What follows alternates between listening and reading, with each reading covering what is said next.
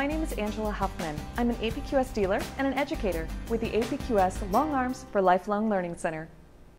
We're going to fill this space that I've stitched out here as if it were a sashing or an inner border and there are lots of quilts where uh, leaves will look wonderful in these small spaces. So let's play with a leaf design that will kind of change positions and uh, bring the eye across the quilt. So the first thing I want to do is an S curve and this is the side of the leaf and uh, what I like to do is just make a little um, oh slope up to the points. There's the point of my leaf and then I'm going to come back down with more of a C curve and put a little tail in it and then head back up. Now the, my next leaf, the base of the leaf is going to be up here. So again, I'm going to do an S curve down, a C curve up, and curl in. Head back down to the bottom.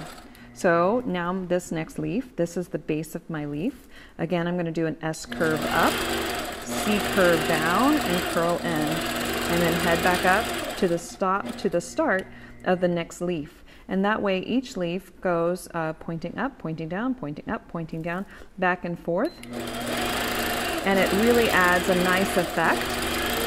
And it's pretty easy to do. S curve, C curve, curl in, back up to the top. S curve, C curve, back in.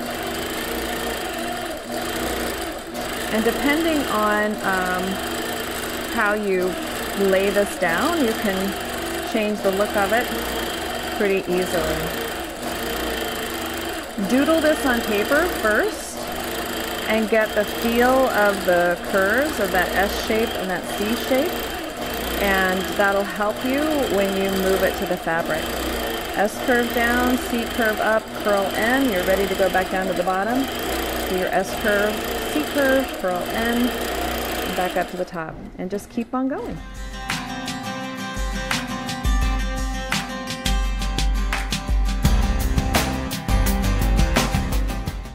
Thanks for watching. For more information, please visit apqs.com. Be sure to like our Facebook page and join the conversation. And subscribe to this YouTube channel so you're notified every time a new video is posted.